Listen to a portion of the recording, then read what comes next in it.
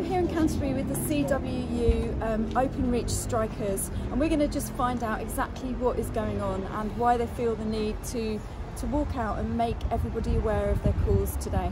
We've been working as um, repayment project engineers and the company have now decided that they want to change our role and put us on the, the lowest rung of the managerial ladder and that, that's not what we want. We want to remain engineers and keep this as an engineering role for the, for the future generation.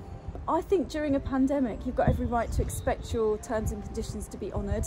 Apparently, CWU haven't had a strike like this since 1987. So, just explain to people why it's really important. That's right. It's all new to us. We've we've never done this before, and uh, it's important that we make a stand and, and just don't accept everything that's uh, being imposed on us.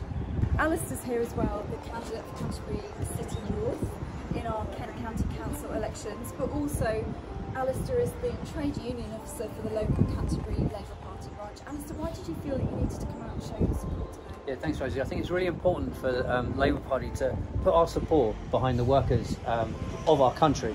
Like we are the Labour Party, and we see uh, companies throughout England cutting people's terms and conditions.